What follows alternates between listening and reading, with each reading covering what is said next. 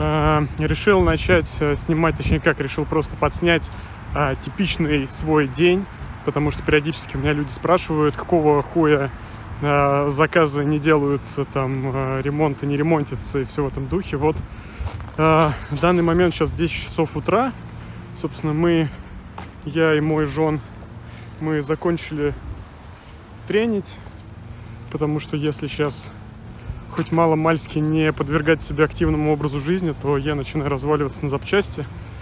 Вот, а так хотя бы я э, прочувствовал формулу. Если раз э, в, там, не знаю, дня хотя бы три или типа того ходишь тренироваться, ну или в принципе какую-то активную деятельность проводишь, что э, как раз на три дня хватает зарядки, чтобы не сходить с ума и не разваливаться. Ну вот, конечно, в идеале надо каждый день ходить, ну ладно.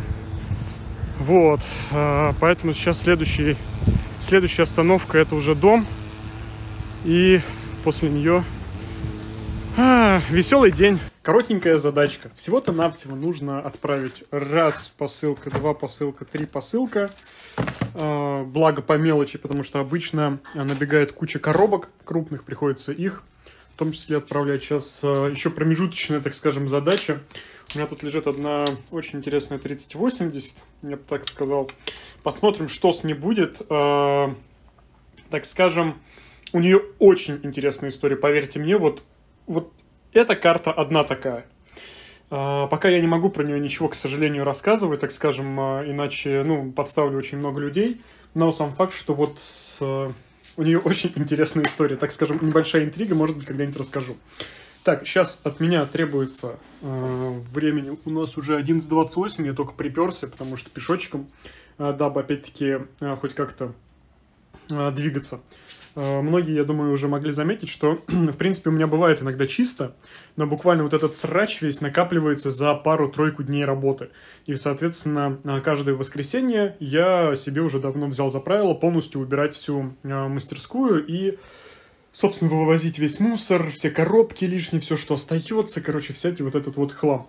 Поэтому сейчас я быстренько, так как я своей, собственно, уже, помните, знакомый, собираю вот этот вот суперкомпухтер, э, туда осталось сделать э, видюху собрать, и сейчас я буду э, собирать из говна и палок 1070. У меня есть живой текстолит, вроде бы как живой, без видеопамяти и без ГПУ я хочу провести небольшой эксперимент. В принципе, все должно проканать. Я сделаю самую холодную 1070, которую только можно сделать. Потому что это, по сути, вот родной охлад, вот такой, да, здесь у нас 5 термотрубок.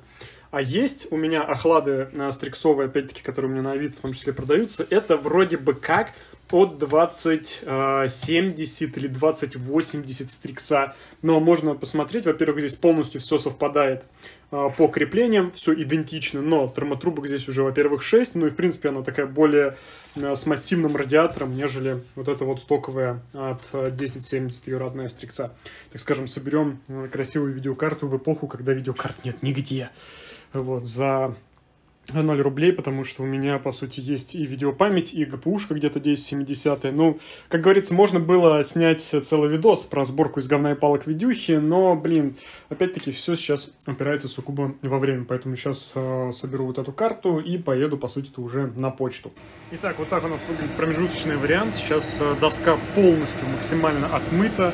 А, так как, как говорится, делаю для своих, сразу по трем дросселям вот этим я поставил предохранители во избежание того, что и орки пробьются, хотя а, про эти стриксы могу сказать крайне редко они вылетают на них, не знаю, как уж так там все с этим связано, а, не разбирался. В любом случае, это все дело сохнет, сейчас моя задача 8 чипов видеопамяти, ГПУ отреболить, посадить на ту доску, и буду надеяться, что все это дело запустит, потому что ГПУ опять-таки донорский, хз. Сейчас у нас на часах 11.53, вот посмотрим, за сколько я управлюсь. На часах 16.45, а я не сделал ровным счетом ни хрена. Успел за это время собрать э, эту чудо-карту с охлаждением от, э, собственно, 2070. Достаточно прохладный, я бы так сказал. Ну, опять же, 1070 и такой э, толстенный охлад. Ладно, это все ерунда. Что сейчас осталось сделать? Сейчас ко мне э, уже успел выдать пару ремонтов. Э, сейчас ко мне едет еще там человек кое-что забрать. Я, наверное, не буду его дожидаться. Сейчас, собственно, вот эти вот все посылки, пока почта еще открыта, нужно успеть отвести, все как обычно. А, также за это время успел уже починить а, три видеокарты, но это помимо вот этой. То есть а, пришел человек, а, я при нем одну карту сделал, потом а, две еще, ну там херня была по мелочевке, сбитые элементы. Вот, поэтому, в принципе, если так подумать, я не сказать, что просто ни хрена не сделал. Все-таки что-то я даже сделал. Но, опять же, можно сказать, вот 5 часов уже конец рабочего дня, условно, да, у меня еще конь не валялся. Ладно, в любом случае, сейчас едем на почту, все это дело еще там из дек, по-моему, отсылаем и приходим... Э, надо еще в ДНС, точно, надо еще в ДНС кататься для этого э, системника как раз-таки докупить кульки, чтобы все было красиво и изящно. Монитор будет 32-дюймовый за 5000, опять-таки, который в электростоке, э, если вдруг кому-то интересно, хотя вряд ли. А, ну и по сути все. Вот, вот сегодняшний день уже, можно сказать, он закончился, при этом не сделано ну, крайне-крайне мало. Именно поэтому а, клиенты многие мне негодуют, почему вот это вот вообще образуется, да, вот как, каким образом. Ну потому что крайне много вот этих вот, казалось бы, незначительных дел, но которые нужно делать, потому что никто их, кроме тебя, не сделает. Соответственно, приходится кататься, еще что-то. Я более чем уверен, уже на этом моменте многие начнут комментировать, что типа, а что ты не возьмешь там и не сделаешь какую-нибудь курьерскую доставку. Ну, короче, а, начнут предлагать делегирование полномочий, потому что, ну, некогда даже заняться тем, чтобы заняться делегированием полномочий. Понимаете, вот в чем беда. Да, и вот такие вот бывают огорчения, что забыл совсем, что сегодня блядская суббота. Сегодня другой график с. Ладно, зато на почте вроде как должны еще работать. Короче, нигде я не успел сегодня. Поэтому почта теперь откладывается до понедельника. И Максим с Криданенко увидит тестеры, я думаю, не, не скоро. Я уже, наверное, вторую партию смогу сделать. Это коротко э, о том, какие помещения, в принципе, можно найти в Бутово. Вот примерно такого уровня, то есть э, халу по халу. Но зато, в принципе, я думаю, что можно договориться. Э, получается, что завтра сдек у нас все равно остается, так скажем, я решил подождать одну клиентку и результате проебал момент как раз таки всей этой отправки. И это вот еще один минус, когда зашиваешься, не чувствуешь абсолютно времени. И для тебя суббота, воскресенье, понедельник вообще нет разницы. Ты не помнишь, какой сегодня день, какое, какое расписание, то есть это в голове вообще не держится, ладно? В любом случае, сейчас еще в ДНС, значит, я надеюсь, что там хотя бы меня порадуют заказом и, собственно, соберем хотя бы комп. ДНС родимый. Сейчас заберем заказик и поедем домой. Минутка демагогии. Вот э, многие мне говорят, Витя, начинай открывай бизнес снимай помещение. Вот иду я по Бутово. Вот, к слову, мой дом. А, помещение, которое я хотел, к сожалению, сняли видисты. И это такой, знаете, каламбур получается. Точнее, судьба не лишена иронии. Потому что достаточно много раз я помогал видистам, в принципе. Ну и знаете, такое просто странное ощущение. А, хотя я максимально нерелигиозный человек, просто у меня друзья есть видисты хорошие, которым я а, частенько там как-то помогаю советы, материально, помощь просто какая-то там, ну, такое, знаете, некоторая доля благотворительности. Я вообще, в принципе, э, легок на подъем, кому-нибудь скинуть бабла на какую-нибудь реально годную тему, чтобы человек там развился, э, что-то хорошее начал делать. Э, может быть, кто-то меня считает меркантильным уебком. Отчасти это так и есть, наверное. Но когда дело доходит до действительно каких-то хороших дел, то, ну, у меня проблем нет. Опять-таки, те, кто меня давно смотрит, знают, они и так это, в принципе, замечали. Так вот, и помещение сейчас в этом Бутово найти просто нереально. Вокруг строятся, открываются одни вот там всевозможные строительные материалы. Ну и то они уже исчезают, потому что район-то почти подстроен. А, салонов красоты только у меня вот в этих трех домах, по-моему, по, по одной или по две штуки. Вот в моем точно два. И сейчас третий открывается. То есть при этом красивых людей что-то больше не становится. Барбершопы, аптек, цветочных магазинов. Э, у меня иногда вопрос вообще, как они конкурируют и как они выживают, потому что неужели настолько жесткий спрос на все эти услуги, там, ноготочки, макияжик и цветочки, что э, им хватает на аренду, зарплату, еще на э, там чай с черной икрой. Короче, это, ну вот, кстати, салон красоты. Вопрос весьма открытый. И получается, что либо э, ну, снимать где-то в Москве. Но этот вариант отпадает сразу по той причине, что я уже это все дело проходил. И кататься в Москву, ну, особенно зимой из Бутова, блядь, это повеситься проще, серьезно. Вот, э, поэтому мой самый грандиозный план это действительно, блин, молиться, надеяться, искать, что какое-нибудь помещение создадут. Соответственно, в него переехать. А уже впоследствии э, копить, копить, еще раз копить, брать ипотеки в кредиты, в долги и реально покупать какое-то свое тупо помещение. Потому что на сегодняшний день то, что мне нравится, и то, что я хочу приобрести, стоит 7,5 миллионов рублей за 45 квадратов на первом этаже, при условии того, что это не коммерческая недвижимость, это жилое. Его придется переделывать. Короче, весело. Типичный э, бутовский сталкер э, с электросамокатом, с, соответственно, рюкзаком, одет. Такое ощущение, что с трех-четырех трупов снял то, что было получше и одел. Да, романтика. На часах у нас уже почти без 15-7 вечера. А, системником я закончил, столько всяких свистоперделок и веселухи. Но, опять-таки, эм, компьютер собирается для особи женского пола, поэтому он должен быть красивенький. Вот, видеокарта единственное, что немножечко провисает, но с другой стороны, чтобы вы понимали, в суперпозишене, в режиме игры, в 8К режиме, 56 градусов. То есть это, по сути, вот игровая нагрузка 56 градусов. Правда, при открытом, понятное дело, стенде. А, точнее, корпусе. А теперь давайте поговорим, в принципе, про сегодняшние дыры в сюжете, так как я не рассказал, а что вообще, с чего начинается мой день.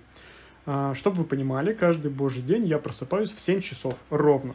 То есть я не могу спать дольше. Причем часто бывает, что я просыпаюсь в 6, либо в 6.30, После этого я полусонный, но при этом я в таком состоянии, что мозг уже начинает работать, то есть идут мысли, я сразу вспоминаю, какие у меня недоделанные заказы, какие дела надо сегодня сделать. Короче, планируется максимально весь день. А, я иду в ванну, где-то минут 30, иногда час я валяюсь и пытаюсь там собрать себя в кучу. Смотрю утреннюю как раз-таки условно почту, да, то есть ВКонтакте, все сообщения в телеге, отвечаю сразу на все, что только могу, чтобы потом уже в течение дня меньше было э, каких-то вот таких проблем с общением с клиентами, э, после чего завтрак, одеваюсь, какие-то иногда э, простенькие там дефекты с утречка могу встать, сразу починить, устранить и там отправить. И в идеальном случае, когда вот было потеплее, я каждый день ходил в зал. Сейчас хожу реально там раз в два, в три дня в среднем. Ну, стараюсь, по крайней мере. Иначе, опять же, говорил, я начинаю разваливаться. А, соответственно, после всего, после зала как раз-таки уже примерно там часов в 11 я дома, и начинается основной рабочий режим. То есть начинается вот это вот все отсылание посылок, э, там, особенно сейчас, опять же, да, вот у меня в свете последних событий, связанных с этими ебаными материнскими платами леновскими. Правда, у меня вот, ну, их ну, их сейчас начали, как ни странно, заказывать активней. А, то есть вот они как отсортированы. Я не проверял там ни хрена вообще. Мне там просто вот после этого последнего стрима многие люди начали говорить, ты точно знаешь, какие там живые процессы, а какие нет. Парни, я как бы не религиозный человек, уже это рассказывал кучу раз, я могу поклясться на чем угодно, если вам это будет так спокойнее, но это будет лицемерие. Я не проверяю это ничего. Я проверял только то, что вот написано в самом прайсе.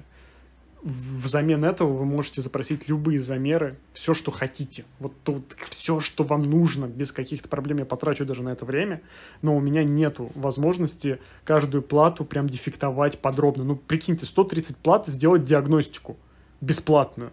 Вот вы как? Как вам? Норм? Как бы мне, допустим, нахер это не нужно. Соответственно, все эти платы, опять-таки, они вот, ну, к сожалению, в таком состоянии. Именно поэтому а, люди заказывают, я им а, сейчас особенно все это скидываю, рассказываю, объясняю и все такое. А, вот, опять же, там некоторые платы, ну, если вдруг кому интересно, на HQ процессорах, да, девятых, там практически все процессы с нормальными сопротивлениями, это единственные э, ноуты, э, платы, которые я именно замеры чисто процовый делал. То есть ни дежурка, ни ведло, ничего, просто процы я проверял, потому что, ну, все-таки стоят они денег, и там, по сути, вы за цену матери получаете проц, i5, i7, 9 поколения, 1060, 1650 Ti ведло, без видеопамяти, разумеется, и хаб 370. То есть вот это просто суммарно посчитайте и поймете, что суммарно эти запчасти по отдельности стоят там где-то под двадцатку. Так вы их получаете там за 10-12 тысяч рублей. При этом сразу хочу сказать, там э, вот, ну, я парочку брал, Будгуард не активирован. То есть хаб подойдет куда угодно. Ну да ладно, это опять самореклама. А, я думаю, что сейчас надо закончить на том, что примерно вот сейчас основная моя проблема в том, что время абсолютно не ощущается, не чувствуется. Я его стараюсь проводить с максимальной пользой, но при этом все равно прогораю в плане того, что вот такие вот висяки остаются, да, причем э, самое, что здесь, наверное, обидное, люди готовы бешеные бабки за это платить. Вот серьезно, никогда такого еще не было. Люди готовы без проблем расставаться с 20, 30, 40 тысяч рублей за подъем видеокарт. А, но фигня в том, что даже сейчас э, деньги постепенно перестают быть мотиватором, когда у тебя, ну, по сути, в каждый такой заказ и частенько попадаются сложные, а частенько попадаются простые. Разумеется, простые ты стараешься делать в первую очередь. Ну, как бы я думаю, что понятно, почему, чтобы они не лежали просто так. Но вот сегодня, допустим, даже чел пришел, я сразу увидел сбитые элементы на видеокарте. Я прям при нем сделал только потому, чтобы она потом у меня не лежала. То есть я мог там ему сказать условно, что оставьте и прочее. Я сказал, все, давай сейчас, чувак, и, и все, иди, пожалуйста. Ты в таком режиме. Вот. А к тому же хочу а, заметить, что основная, наверное, так скажем, фишка, почему я до сих пор, мне кажется, держусь на плаву, это то, что я стараюсь делать все быстро. Это то, о чем мы дискутировали с Саней, с моим новым товарищем-ремонтником, который скоро должен приехать, что главная тема не то, насколько круто, качественно и умело ты чинишь технику, а насколько быстро ты можешь ее починить. Я думаю, что многие те, кто владеют сервисными центрами, со мной отчасти, наверное, согласятся, потому что решает количественный ремонт. К сожалению, некачественный. А, точнее как. А, я стараюсь придерживаться должного уровня качества, чтобы, ну, во-первых, я даю гарантию на все это дело. Во-вторых, я пользуюсь нормальными расходниками, я не спешу, то есть у меня нет такого... У меня вот даже недавно приходили люди и спрашивали, нужно у вас купить там доску на 10-70, у вас наверняка много остается. Нет, фигня в том, что реально у меня 90, наверное, 7% заказов поднимаются. То есть я их поднимаю до победного, высылаю. То есть мне нет куда иногда даже донорям браться, потому что э, те, у кого куча донорей, как правило, это ремонтники, у которых, ну, либо ни хера не поднимается, либо еще что-то, это все дело выкупают, либо им оставляют. В моем случае реально у меня даже донорей нету. Вот у меня есть вот эти вот тут э, сколько, 6 коробок видюх за 2 года скопились. Э, посмотрите у любого сервиса по ремонту видюх, у них этого говна будет просто валом. Э, но это ладно, это так. Соответственно, первоочередная задача и мой совет – ребята, старайтесь делать быстро, старайтесь именно, ну, как бы входить в этот режим не вальяжного ремонта, а если хотите зарабатывать э, больше, то есть у вас э, варианты только увеличения своей производительности. То есть учитесь аккуратно и быстро работать, и качественно. То есть вот эти вот все факторы, постарайтесь просто-напросто. Это сложно, поверьте мне, но когда вы в этот тандем, э, в, точнее режим входите, если вы перед собой цель эту ставите, то поверьте мне, спустя там месяца три вы начинаете работать реально гораздо производительнее. О чем я говорю? Начиная от простых вещей, типа быстрой разборки каких-то вещей, того же ноутбука. Вы его крутите не вот так вот еле-еле, там посматривая в экран, может быть, фильм включили, и вот один болт скрутили, второй, просто раз-раз-раз, раз-раз-раз, раз-раз-раз, раз-раз-раз, все это раскрутили, вытащили материнку и сразу уже приступили к ее диагностике, чтобы не откладывать это все в долгий ящик. То есть вот казалось бы, даже на таких разборках-сборках очень много времени теряется. Я уже приводил в пример то, что, опять-таки, ну, тут э, два фактора. Первое, что я, в принципе, все стараюсь делать быстро. Второе, что меня подстегивают еще и вот эти вот прикольные коробочки, что я стараюсь делать по 2-3 видеокарты одновременно. И сейчас моя выработка, вот, допустим, за сегодня получилось сколько там? Три видеокарты всего я успел сделать а, при том одну при клиенте, по сути. Обычно я стараюсь придерживаться где-то 5 а, единиц а, техники в сутки ремонта. Неважно, сложный, простой, просто 5. Вот мне надо это сделать. Иногда бывает такое, что ты начинаешь что-то делать, и оно не получается. Ты это откладываешь, берешь другое. Главное тебе норматив условно свой поставленный выполнять, если у тебя есть поток ремонтов. Только тогда будет дисциплина, только тогда будут ремонты делаться. Если это все, вот я сейчас буду так же, как некоторые ремонтники, делать вальяжно, развалившись, еле-еле, душа в теле и все в этом духе, то, ну, реально, эта гора будет просто каждую неделю, но вот умножаться на два. и все. И я просто зарасту этими заказами, уже буду путаться дико, и все, как бы, ну, придется реально закрываться и останавливать это все, иначе с ума сойдешь. Вот. Еще один немаловажный фактор, с которым хочется разобраться и рассказать и объяснить мое видение, мое ощущение. Опять же, я никому ничего не навязываю, это сугубо мои мысли. А, многие сейчас воспримут их наверняка неправильно, но я все-таки адресую их людям, которые способны мыслить что большинство ремонтников, я уже поднимал этот вопрос, но вскользь в основном, не умеют тратить заработанные деньги. Именно поэтому, мне кажется, это второй фактор, почему большинство ремонтников условно нищие. А, не потому, что у них нет заказов, а потому, что они не умеют грамотно распоряжаться, во-первых, финансами, которые они с этих заказов имеют, во-вторых, они не умеют, но это уже отдельная тема будет, скорее всего, грамотно продавать себя и грамотно свой прайс расписывать. Опять же, мы, я думаю, уходим от тематики того, что мне не, неоткуда брать клиентов, я не знаю как, клиенты готовы 500 рублей платить и прочее. Это мы с вами на стриме уже обмусоливали миллиард раз. Это все решаемые проблемы. И вот там посмотрите на любого человека, который так или иначе сейчас начал вести канал. Опять же, я там могу, думаю, привести в пример, э, Леонид согласится или нет, э, Леонид, Рем Лаптоп, да, с Питера, Дима, Мафия 67 со Смоленска, э, откуда, кстати, Саня, и там работы условно нет, но за счет вот Пикабу и канала у Димы куча заказов, он просто завален, он не знает, что с ними делать условно. А, да кого там еще можно сейчас привести из таких э, свеже, так скажем, открывшихся. Наверное, сейчас в ум просто не приходит. Еще есть тоже ребята. А, то есть вот без каких-то проблем люди нашли себе клиентов, которые готовы при этом платить им кучу денег.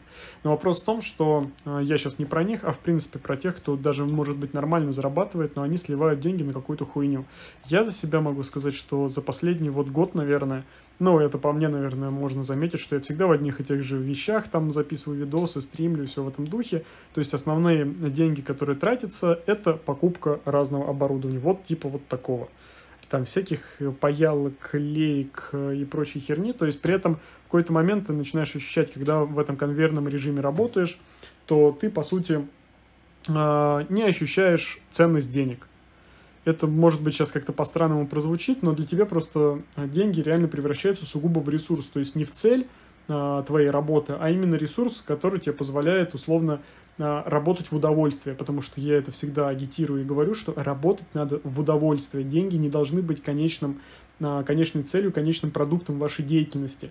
Это всего лишь навсего условно благодарность людей за то, что вы работаете и восстанавливаете технику первую очередь вы должны кайфовать от своей работы. Если у вас этого кайфа нету, или если он быстро пропадает, то серьезно, лучше поищите другую работу, иначе, ну, это просто-напросто замкнутый круг будет. Вы будете страдать, и при этом, поверьте мне, когда вы страдаете и занимаетесь ремонтами, денег у вас точно не будет. Вот это тоже такая, это аксиома.